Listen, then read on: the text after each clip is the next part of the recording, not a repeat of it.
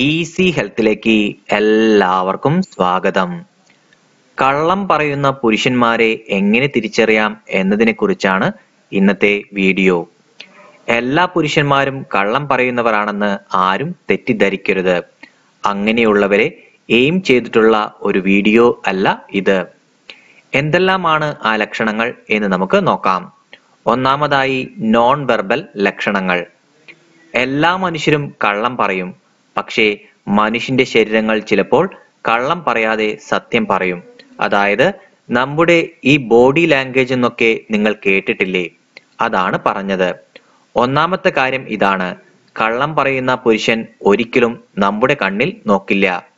പിന്നെ ശ്വാസം കൂടുതൽ വേഗത്തിലാവുന്നതും കാണാം. പിന്നെ പല ശാരീരിക അസ്വസ്ഥതകൾ കാണിക്കുകയും ചെയ്യും. പണ്ട് ബിൽ ക്ലിന്റൺ കള്ളം പറഞ്ഞപ്പോൾ ഇടതടവില്ലാതെ അദ്ദേഹത്തിന്റെ മൂക്കിൽ തൊടുന്നതും യൂട്യൂബിൽ നിങ്ങൾക്ക് കാണാം. രണ്ടാമതായി പറയുന്ന കാര്യങ്ങൾ മാറ്റി പറയുക എന്നതാണ്. കള്ളം പറയുന്നവർ കാര്യങ്ങൾ മാറ്റി പറയുന്നത് കാണാം. നിങ്ങളുടെ പുരുഷൻ അങ്ങനെ ചെയ്യുന്നെങ്കിൽ അത് സംശയിക്കുക തന്നെ വേണം. സത്യമാണ് ആൾ പറയുന്നതെങ്കിൽ എന്തിനത് മാറ്റി പറയണം? അമിത സ്നേഹം കാണിക്കലാണ് മൂന്നാമത്തെ കാര്യം. ചില പുരുഷന്മാർ കുറ്റബോധം കൂടിയിട്ട് ഭാര്യയെ അമിതമായി സ്നേഹിക്കുന്നതും കാണാം. അവർ ചിലപ്പോൾ പതിവിന് വിപരീതമായി പൂക്കൾ ആഭരണങ്ങൾ തുടങ്ങിയവ സമ്മാനങ്ങൾ വാങ്ങിക്കൊണ്ടുവരും. പിന്നെ പതിവില്ലാതെ ജോലികളെല്ലാം ചെയ്തു കൊടുക്കുവാനും തുടങ്ങും.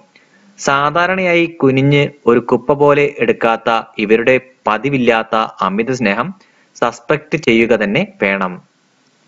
നാലാമതായി ഒരു കാരണവുമില്ലാതെയുള്ള ദേഷ്യം. നമ്മളോട് ഒരു ദേഷ്യവും ഇല്ലാതിരുന്ന ഒരു പുരുഷൻ പെട്ടെന്ന് തന്നെ ദേഷ്യം ഭാവിച്ച് വഴക്കടിക്കാൻ വരുന്നുവെങ്കിൽ അയാൾക്ക് എന്തോ കാര്യത്തിൽ ഒരു കുറ്റബോധം ഉണ്ടായിരിക്കാൻ ഉള്ള എല്ലാ പോസിബിലിറ്റിയും ഉണ്ട്. എന്തോ മറയ്ക്കാൻ പാടുപെടുന്നുണ്ടാകും കക്ഷി. പുള്ളിയെ നമ്മൾ അങ്ങോട്ട് സംശയിക്കാതെ ഇരിക്കാനുള്ള ഒരു തന്ത്രം ആയിരിക്കും ഇത്. അവസാനമായി സ്വാഭാവികമായ സ്വഭാവ മാറ്റങ്ങൾ പെട്ടെന്ന് തന്നെ സ്വഭാവങ്ങൾ ചേഞ്ച് ഉണ്ടോ എന്ന് നോക്കണം. ഉദാഹരണമായി പതിവില്ലാത്ത സമയങ്ങളിൽ പുറത്തു പോവുക പതിവില്ലാതെ കൂട്ടുകാരോട് കൂടെ ആയിരുന്നു എന്ന് പറയുക തുടങ്ങിയ കാര്യങ്ങൾ ശ്രദ്ധിക്കുക.